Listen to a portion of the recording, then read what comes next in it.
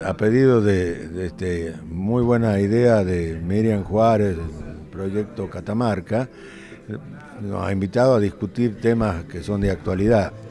Y el tema que se me ha propuesto es el control público, es decir, la necesidad que la sociedad tenga un control sobre cómo se ejecuta el presupuesto de la provincia, de la nación, cómo se invierten los recursos públicos, la responsabilidad de los funcionarios, eh, cómo se rinde cuenta. Eh, hay temas que hoy son de actualidad este, y que indican claramente la ausencia de un control efectivo. Y por otra parte, hechos que además son preocupantes, cómo funcionan los organismos de control, tanto a nivel nacional como a nivel provincial. Yo integré 10 años la Auditoría General de la Nación y voy a hablar sobre mi experiencia. Pero acá tenemos el caso del Tribunal de Cuentas, que se da una paradoja muy especial. Acaban de designar como presidente del Tribunal de Cuentas a un ex ministro del gobierno hasta hace unos días. Y el anterior designado ha sido el ministro de Hacienda. O sea, que el, Tribunal de Cuentas tiene tres vocales, de los cuales dos no van a poder actuar porque no se pueden auditar sus propias cuentas. Este, entonces, eso crea una incertidumbre muy grande eh, eh, para la sociedad y, el derecho de la sociedad a no creer eh, que realmente se estén controlando las cuentas públicas a nivel nacional, como usted lo manifestaba y como su caso, eh, está previsto que alguien de la oposición eh, eh, sea partícipe de la auditoría. ¿En Catamarca la constitución lo avala? ¿Es así? No, en, Catamarca el Tribunal de Cuentas, de acuerdo a la constitución del año 88, lo, están, lo tienen tres miembros.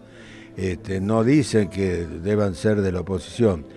En el caso de la Nación, la Auditoría General de la Nación reemplazó al ex Tribunal de Cuentas y está compuesta por siete miembros, tres elegidos por la Cámara de Diputados, yo fui uno de ellos, y tres por el Senado. Y el presidente es propuesto por el partido de oposición con mayor número de legisladores. Esta eh, reforma ha sido consagrada por la reforma de la Constitución del 1994 en el artículo 85, que le da autonomía total a la Auditoría General de la Nación. Y, por lo tanto, este, si, si bien se mantienen los siete miembros, la ley que regula el funcionamiento de la auditoría todavía no ha sido dictada es una de las tantas leyes de la reforma constitucional que no ha sido aprobada por el Congreso hasta la fecha. Eh, no obstante eso, la auditoría cumple un papel importante y lo ha demostrado, y yo lo voy a demostrar en la conferencia, que con los informes que se han producido se han eh, podido eh, descubrir hechos ilícitos de gran magnitud y que han servido para que funcionarios sean juzgados, como en el caso de la tragedia de Once, como en el caso del fútbol para todos, la malversación de casi 4 mil millones de dólares que hubo en su momento, el caso de Madre de Plaza de Mayo, el caso de compra de material ferroviario chatarra a, Portugal y España, eh, son hechos que demuestran que cuando se puede y se quiere, puede haber un control y ese control puede ser efectivo y los responsables de malversar pueden terminar presos, como lo está debido Jaime y otros. Bueno, yo creo que los hechos demuestran que el Tribunal de Cuentas no está funcionando en Catamarca de hace muchos años, no es una cuestión de este gobierno,